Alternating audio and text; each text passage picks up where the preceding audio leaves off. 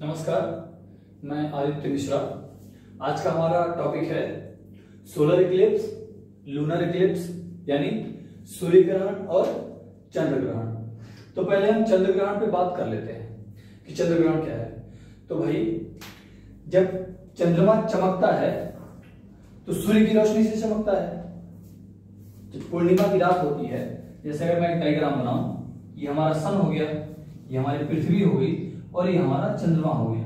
अब इसका आधा भाग चमक रहा होता है। जब ये चमकना बंद हो जाए, इनके बीच में पृथ्वी आ जाए, जो रोशनी से मिल थी, वो पृथ्वी पर पड़ने लगे और इस पर पृथ्वी की छाया पड़ने लगे। तो हम इसे कहते हैं चंद्र ग्रहण ठीक है? तो ये चीज़ जब इसका आधा भाग चमकता है, जो हर महीने होता है तो हम इसे कहते हैं पूर्णिमा रात ठीक है? पूर्णिमा मतलब आपका फुल मून ठीक है? फुल मून हर महीने आता है, महीने में एक बार, जब चंद्रमा का पूरा आधा भाग हमें चमकता हुआ दिखाई देता है तो हम इसे कहते हैं फुल मून इस समय चंद्रमा पूरी तरीके से चमक रहा है और पृथ्वी से दिख रहा है इसी में बाधा उत्पन्न हो जाए मतलब इसी पे ग्रहण लग जाए।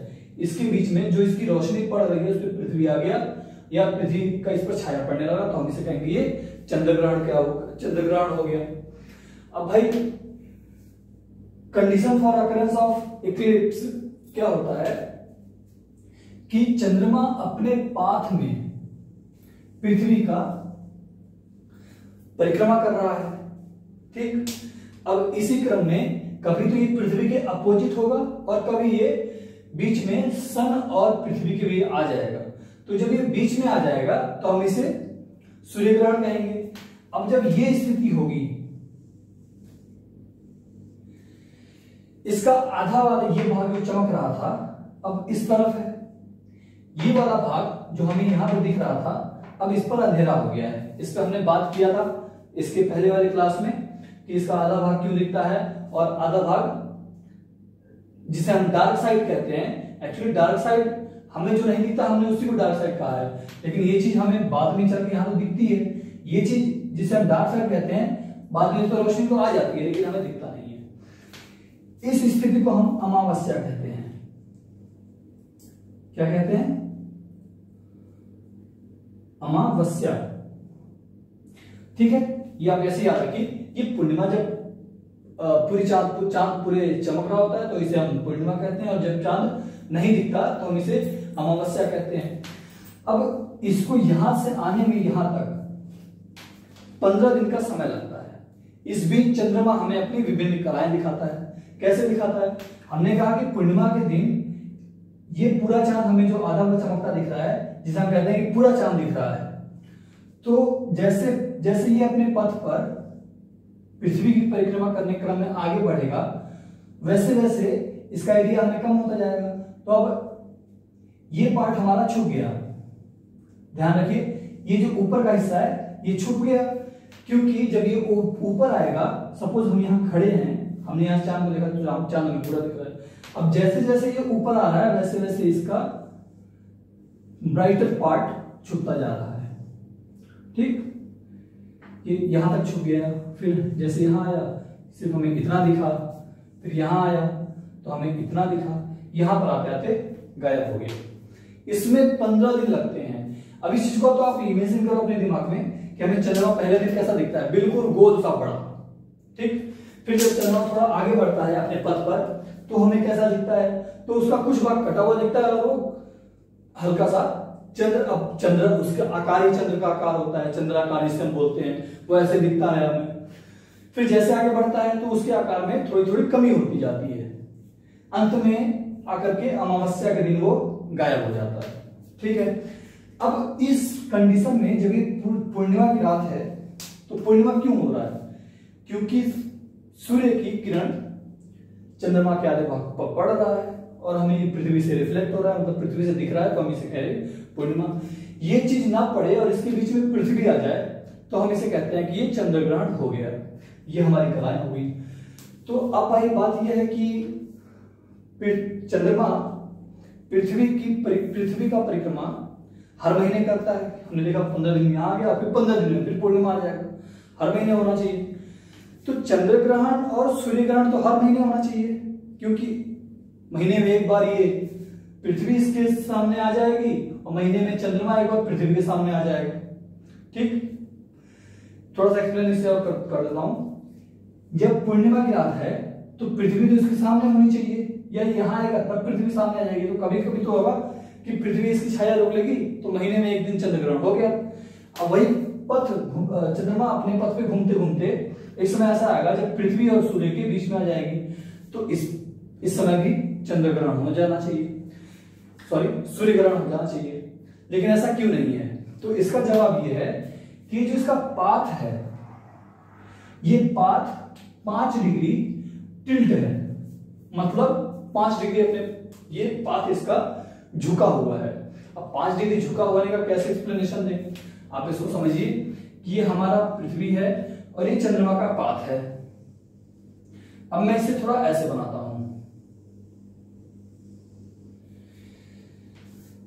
समझ में?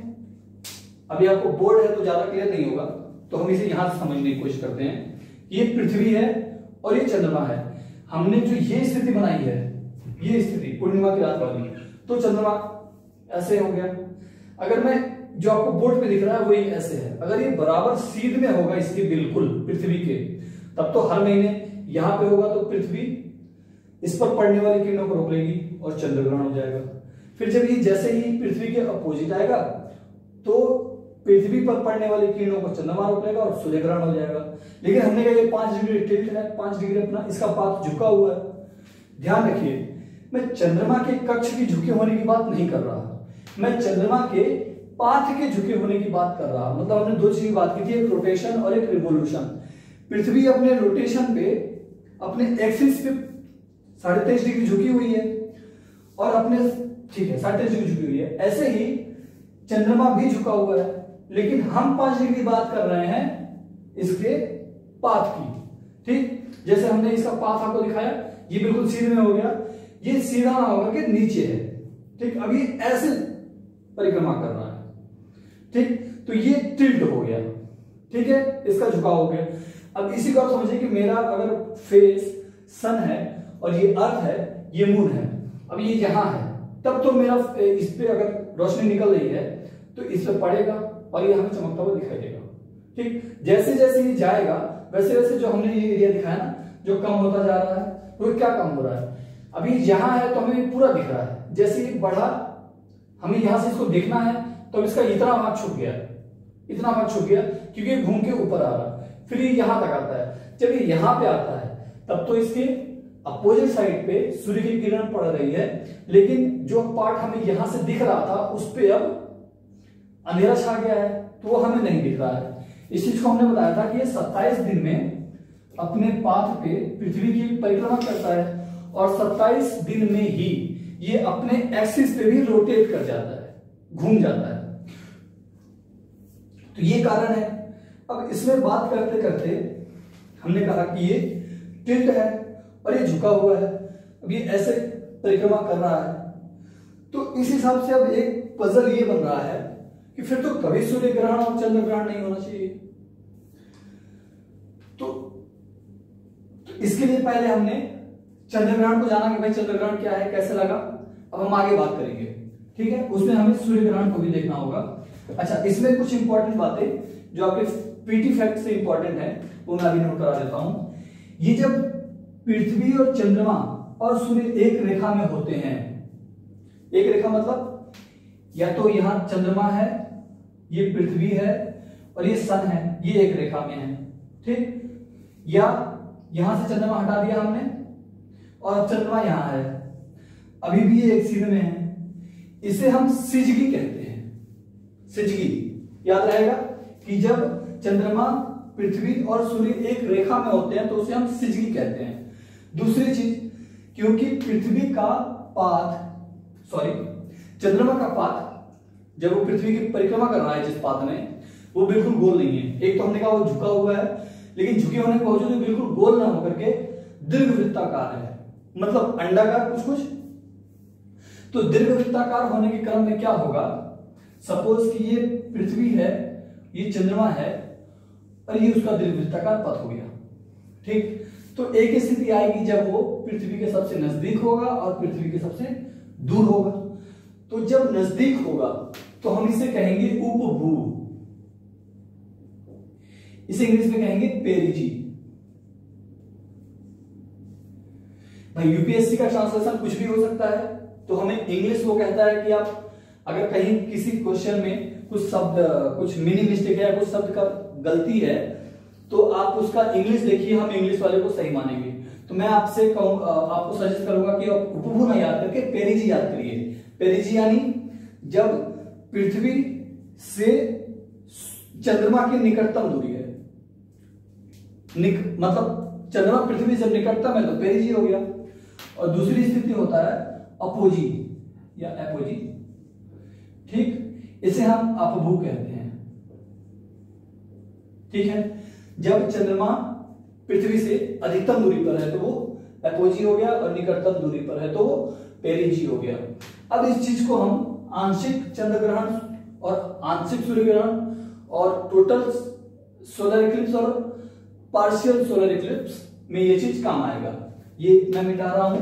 आप इसे चाहे तो कहीं नोट करें फ़िलहाल के लिए समझने के लिए, क्योंकि आगे हमें इसकी ज़रूरत पड़ेगी। तो हमने चंद्र ग्रहण को देखा, इसकी कलाएँ, कलाओं को देखा। अब ग्रहण में, जैसे हमने लिखा, हमने बताया कि condition for occurrence of eclipse इसमें चंद्रमा की महत्वपूर्ण भूमिका है। कैसे है? क्योंकि चंद्रमा पे ही पड़ने वाली रोशनी को पृथ्वी रोक रहा है तो वो चंद्र ग्रहण हो गया।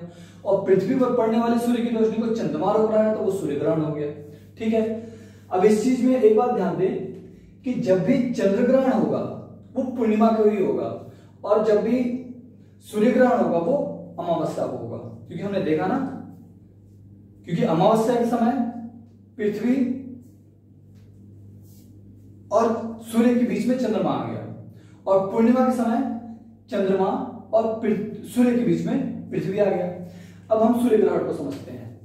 तो सूर्य ग्रहण में ये मान लिया हमारा सूर्य है, ये हमारी पृथ्वी है और ये हमारी चंद्रमा है। हमारा चंद्रमा। ठीक है? तो इसका आधा भाग सूर्य की रोशनी पड़ने से चमक रहा है। जैसे जैसे आएगा, यहाँ पे अमावस्या हो जाएगा। तो हमने कहा ना कि अब जो इसकी किरणें इस पर पड़ रहा था, उसके बीच में चंद्रमा आ गया। तो अब यहाँ पे अंधेरा छा गया। ठीक है? फिर हमने बताया ना, एपोजी और पेरिजी जब पेरिजी होगा मतलब सूर्य और चंद्रमा के बीच सॉरी पृथ्वी और चंद्रमा के बीच दूरी निकटतम होगी तब जब तब सूर्य ग्रहण लगता है तो वो आंशिक हो जाता है। और यदि पेरिजी में सूर्य ग्रहण लगता है पेरिजी सॉरी अपोजी अपोजी यानी जब चंद्रमा और पृथ्वी के बीच की दूरी अधिकतम है तब चंद्र ग्रहण होता है तो, तो वो टोटल सोलर इक्लिप्स होगा या पूर्ण सूर्य ग्रहण होगा। जैसे अब इसको यहाँ समझेंगे। ये मान लिया हम हमारा अपोजी है। अपोजी कंडीशन में अब इसे थोड़ा समझना है। जैसे ये मेरा फेस है, ये आप पृथ्वी मान लें और इसे आप चंद्रमा माने। और सन से लाइट आ रहा है। अब मैं इसके नज़दीक से रोक रहा हूँ तो मेरे कम भाग मेरा कम भाग कवर हो रहा है चेहरे का, कम अंधेरा मिल रहा है। जब मैं इसे दूर ले जाकर के सपोज़ कि मैं इसे पृथ्वी के सॉरी सन के ऊपर ये चंद्रमा लगा दूँ तब जब उसका छाया बनेगा तो बड़ा बन जाएगा। तो पृथ्वी के पूरे भाग को कवर कर लेगा। ठीक यही चीज़ एपोजी यानी पृथ्वी और चंद्रमा के बीच अधिकतम दूरी है तो इनके बीच बनने वाला शेडो बड़ा हो जाएगा। ठीक? तो ये पूरी पृथ्वी को ढक लेगा और हमें ये पूर्ण सूर्य ग्रहण के रूप में दिखेगा। अच्छा पूर्ण सूर्य ग्रहण होते हुए भी ऐसा नहीं होता कि दिन है तो पूरा रात हो गया। एक चीज़ ध्यान रखें सूर्य ग्रहण कभी भी दिन नहीं होगा। आप ऐसा मत सोचे कि रात में भी सूर्य ग्रहण हो सकता है। दूसरा चीज़ चंद्र ग्रहण कभी भी रात में होगा। दिन में चंद्र ग्रहण नहीं होगा। ठीक? कारण, दिन में तो चंद्रमा दिखता ही नहीं है। और रात में सूर्य नहीं दिखता। तो अगर उसके बीच में कुछ आ रहा है तो हमें क्या फ़र्क पड़ रहा है? क्योंकि हमें उस समय रोशनी मिलने का हमारा कोई रूटीन नहीं है। नहीं मिल रहा तो कोई बात नहीं। तो दिन में पड़ने वाली किरण को चंद्रमा रोक ले तो सूर्य ग्रहण हो गया। अब दिन में पूरी तरीके से अंधेरा नहीं हो जाता। अगर पूर्ण सूर्य ग्रहण है तो सूर्य का लगभग लगभग मान के चलिए नब्बे परसेंट भाग कवर कर लिया जाता है चंद्रमा द्वारा। तो हमें उसका कोरोना दिखता है। ये कोविड वाला कोरोना नहीं है, ये सूर्य का इसको किरीट बोलते हैं। इंग्लिश में से कोरोना कहते हैं। जिसे हीरक वाले या रिंग ऑफ़ फायर भी कह लेते हैं आप कि एक अंगूठी के तरीके की एक रिंग बन जाता है सूर्य पे, जिसे हम फायर ऑफ़ रिंग कहते हैं। ठीक है? तो अब वो चीज़ डिजिटल क्लास अगर होता तो हम ज़्यादा उसे अच्छे समझ पाते, अभी नहीं है तो हमें थोड़ा इमेजिन करना है। इमेजिन कैसे करना है? अगर ये चंद्रमा है, ये सॉरी ये सूर्य है, और चंद्रमा ने हमें पृथ्वी जो दिख रहा है वो इतना दिख रहा है। ये एरिया ढका हुआ है, ये खुला हुआ है। तो हम इसे कहेंगे आंशिक सूर्य ग्रहण और जब इसने ज़्यादा एरिया कवर कर लिया तो हम इसे कहेंगे पूरे पूर्ण सूर्य ग्रहण अब देखिए, जैसे हमने इसको बनाया, सूर्य को, एक चीज़ हमने ये स्थिति दिखाई, और एक बार पूर्ण सूर्य ग्रहण दिखाता हूँ, वो बनेगा ऐसे। ये हमें कहीं ऐसा दिखता है तो एक अंगूठी टाइप का बन जाता है। तो यही आपका कोरोना है, ठीक? यहाँ से एक्सरे रेज बहुत तेज निकलता है, इसलिए इसे नंगी आँखों से देखने से मना किया जाता है। ये तो एक बेसिक फैक्ट हो गया। अब देखिए, ये जो शेडो बन रहा है, अगर मैं आंशिक चंद्र ग्रहण की बात करूँ अभी, आंशिक चंद्र ग्रहण में जो डार्कर पार्ट होता है, वो कम बनेगा। ठीक है? तो जो डार्कर पार्ट है, उसे हम अम्बरा कहते हैं। अम्बरा आपके यूपीएससी के पीटी के पॉइंट ऑफ़ व्यू से बहुत इंपॉर्टेंट है तो इसे आप याद रखें कि ये क्या है, अम्बरा। जो शेडो बन रहा है सूर्य ग्रहण के समय तो जो डार्कर पार्ट है, उसे हम, जो अंधेरा वाला भाग है, उसे हम अम्बरा कहते हैं। अच्छा शेडो बनने के क्रम में आप एक चीज़ ध्यान रखें कि अगर मैं लाइट को पूरी तरीके से हाथ से रोक दूँ तो पूरा तो अंधेरा हो नहीं जाएगा। कुछ एरिया पे उंगली का निशान दिखेगा, उसके अलावा कुछ लाइट रोशनी आती रहती है। उसे हम शेडो बोलते हैं। तो जो शेडो होता है, वो थोड़ा ब्राइटर पार्ट होता है। ये चमकीला भाग होता है। तो हम इसे पेनुम्ब्रा कहते हैं। अब इसका इंपॉर्टेंस क्या है? जो व्यक्ति अम्बरा में खड़ा है, यानी यहाँ पे, उसे अगर सूर्य ग्रहण दिख रहा है तो उसे पूर्ण सूर्य ग्रहण दिखेगा, क्योंकि उसे यहाँ से अब सूर्य का कोई विभाग नहीं दिख रहा है तो उसे पूर्ण सूर्य सूर्य ग्रहण दिखेगा। लेकिन जो पेनुम्बरा पे खड़ा है, यहाँ पे, उसे आंशिक सूर्य ग्रहण दिखेगा। ठीक? जो यहाँ खड़ा है, उसे तो सूर्य ग्रहण दिखेगा ही नहीं, क्योंकि उसके सामने कोई भी अंधेरा वाला पार्ट नहीं है। इसीलिए हमने सुन रखा है कि भाई इस बार जो सूर्य ग्रहण होगा, जैसे हम एग्जांपल मान लें कि 21 जून को अगला सूर्य ग्रहण आने वाला है तो ये टोटल सूर्य ग्रहण नहीं होगा, ये पार्शियल सूर्य ग्रहण होगा। तो कहा जा रहा है कि ये ऑस्ट्रेलिया से दिख सकता है। ठीक? और भी कई जगहों से वो दिख सकता है, हर जगह से नहीं दिखेगा। इसके पीछे रीजन क्या है? यही कि जो अमरा वाले पार्ट होता है, उसमें पूर्ण सूर्य ग्रहण दिखता है पेनुम्ब्रा वाले पार्ट में आंशिक दिखता है और जो पेनुम्ब्रा के भी बाहर है, उन्हें सूर्य ग्रहण नहीं दिखता। फिर ये आधा पार्ट है। पृथ्वी का आधा भाग तो पृथ्वी के आधे भाग पे तो सूर्य की रोशनी पड़ती है। तो ये भाग तो अंधेरा है। जो अंधेरा है, वहाँ सूर्य ग्रहण होने कोई मतलब ही नहीं है। ठीक है? तो पेनुम्ब्रा हमने समझ लिया अम्बरा समझ लिया। अच्छा हमने एक चीज़ बात करी थी कि चंद्रमा अपने पाथ पर पृथ्वी की परिक्रमा कर रहा है और इसका पाँच पाँच पाँच पाँच डिग्री झुका हुआ है, जिसकी वजह से हर महीने सूर्य ग्रहण और चंद्र ग्रहण नहीं पड़ता। लेकिन दूसरी समस्या, एक पजल हमने वहाँ पे छोड़ दिया था कि भाई तो कभी नहीं होना चाहिए, फिर क्यों होता है? तो इसका रीजन ये है कि ये पृथ्वी की परिक्रमा कर रहा है, साथ में पृथ्वी भी सन की परिक्रमा, सन का परिक्रमा कर रहा है। सन के चारों चक्कर लगा रहा है। फिर हमने वहाँ पे बताया था कि पंद्रह दिन में इसकी स्थिति बदलती है तो हमें चंद्र की कलाएँ दिखती हैं। ठीक? पंद्रह दिन बाद अमावस्या आ जाता है। ठीक है? यही जब पूर्णिमा होगा, युति युति यानी सिज की, जब एक रेखा में है, जब पूर्णिमा है तो इसकी पूरी किरणें इस पर पड़ रही हैं, पृथ्वी की अपोजिट साइड में है। अब जब पृथ्वी पर, जब ये चंद्रमा यहाँ होगा, अमावस्या की रात में, ठीक? तो जैसे जैसे इसकी स्थिति इसकी स्थिति, चंद्रमा की स्थिति बदल रही है, वैसे वैसे सूर्य के सापेक्ष पृथ्वी की भी स्थिति बदलती है। पृथ्वी, हमने बात किया था कि पृथ्वी पर कर्क, विश्वत और मकर रेखा पर साल भर साल भर सूर्य की लंबवत किरणें चमकती हैं। इसका मतलब क्या है?